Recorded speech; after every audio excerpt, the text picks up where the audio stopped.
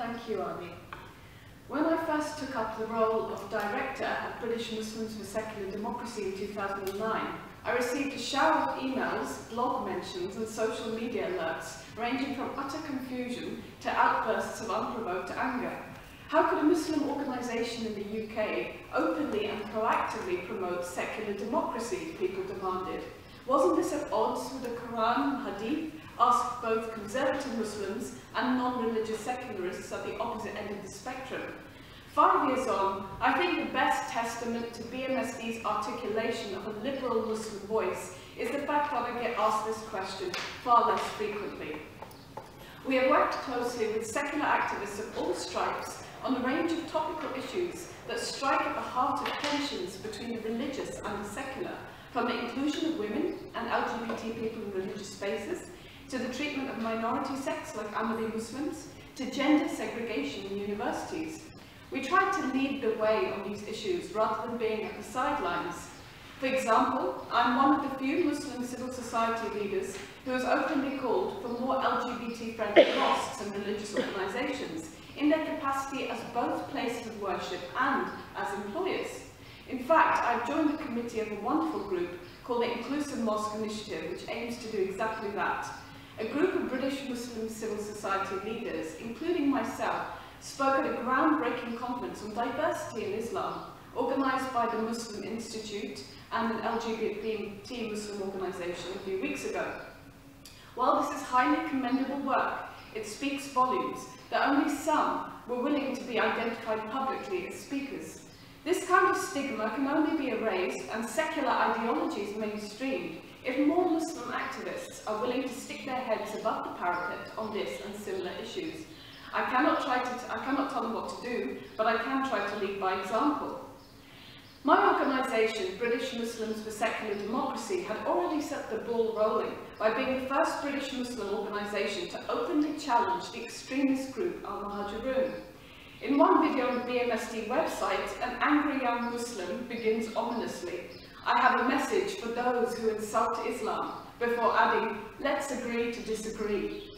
This video was used to promote BMSD's counter-protest against Al-Muhajirun in October 2009, which attracted 150 attendees in Piccadilly Circus. It received 10,000 hits on YouTube in just four days. What happened two years later? Other mainstream Muslim groups, like the Islamic Society of Britain, felt empowered enough to join a coalition of religious non-religious groups, including mine, to organise a protest against Al-Muhajirun and their poppy burners on Remembrance Day 2011. While the group were banned by the Home Secretary the night before the protest, our planned counter-protest sent out a clear message that people from a diverse range of backgrounds were not willing to let their pernicious activities go unchallenged. Cases where it's pretty unlikely that the status quo will be changed uh, anytime soon, for example, increasing the number of women and LGBT people on existing mosque committees, what we can do is set up our own alternatives. The aforementioned Inclusive Mosque Initiative is a great example of this. We know that there's a cohort of British Muslims who have a problem with government-funded charities or having certain values imposed on them top-down.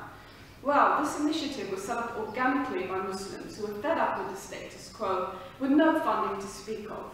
They have an inclusive pop-up prayer space featuring women who lead mixed prayers and a committee with openly uh, LGBT Muslims on it. On top of this, they have organised taboo-busting events on subjects like Islam and mental health and humanistic Islam.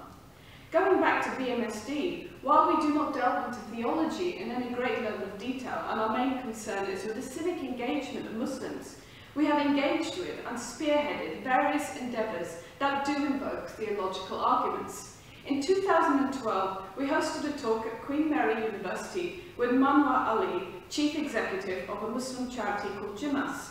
He outlined his moral, philosophical and spiritual trajectory from a rocky start as a mujahideen who went to fight in Afghanistan to a Muslim leader who actively embraces secular democracy and self-defines as broad-minded.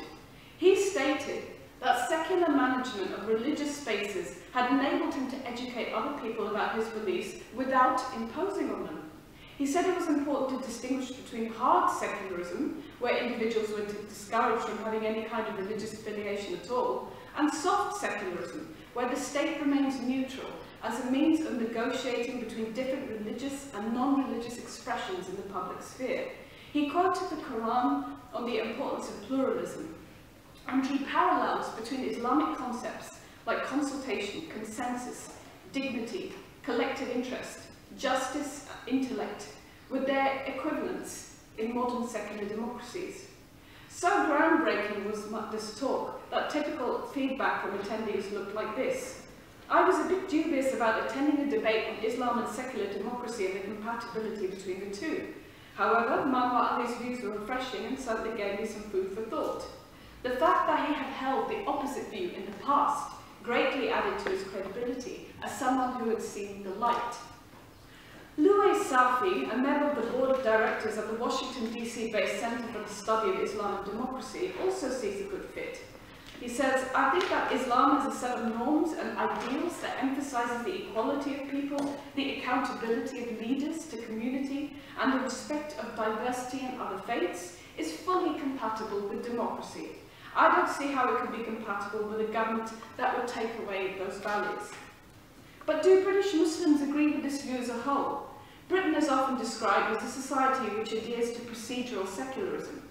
Theoretically, this means that it enables all voices, whether religious or not, to access the public sphere equally. In contextualising Islam in Britain, two rigorous research projects conducted by Cambridge University that asked a diverse group of Muslim participants to answer the question, what does it mean to live faithfully as a Muslim in Britain today? An overwhelming majority of participants affirmed their support for this model. They observed that procedural secularism provides many benefits for Muslims, including religious freedom. As British Muslims, we are able, for the most part, to practice our faith in an atmosphere of respect and security, with recourse to established anti-discrimination provisions if this is not the case. The Measuring Anti-Muslim Attacks project is a prime example.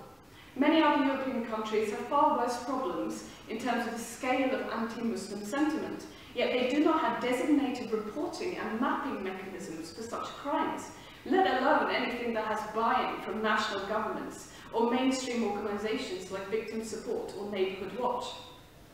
Meanwhile, proponents of ideological secularism often cite the negative role that religion can play when it comes to issues like women's rights as grounds for their objection to allowing religion into the public sphere at all.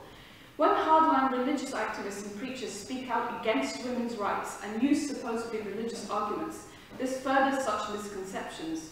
Some extreme acts have more to do with culture than religion.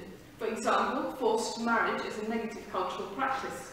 Although associated with Islam, it is actually at odds with Islamic history, which includes examples of the Prophet Muhammad, peace be upon him, ending marriages in which consent had not been sought. However, attributing all of these negative practices to culture alone is a whitewash. Several theological arguments are usually advanced on the alleged impermissibility of marriage between Muslim women and non-Muslim men, for example.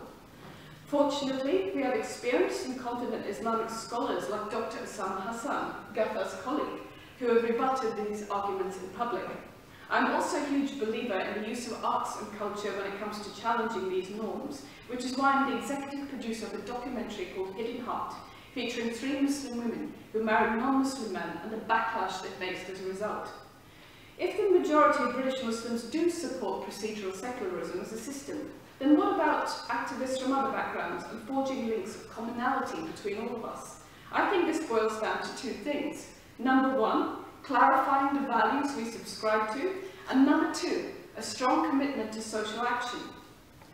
Manwar Ali's 2012 talk provided some answers on the first point. He had quoted former MP Michael Wills in enunciating what British values actually were. Creativity, openness, tolerance and adaptability.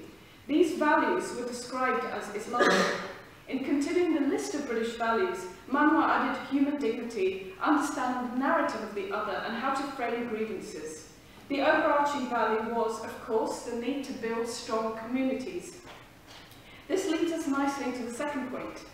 Within a procedural secular state such as Britain, Muslims have rights and responsibilities that are in keeping with Islamic teachings. Far from advocating withdrawal from society, mainstream Islamic scholarship regards civic engagement as highly desirable for Muslim citizens. Understanding that being a religious Muslim in Britain today also means living a full life as a citizen, with all the rights and responsibilities that entails, is a crucial step to becoming well-adjusted citizens in today's Britain. Islamic history has something to say about the link between citizenship and religion as well. Imam Abu Ishaq al-Shatibi, an Andalusian scholar who lived in the 14th century, articulated this principle in his work of the Maqasid al-Sharia, or goals of the Sharia. He drew parallels between citizens' rights and responsibilities in the state, such as freedom of conscience, the right to speak out against tyranny, and the objectives of Islam,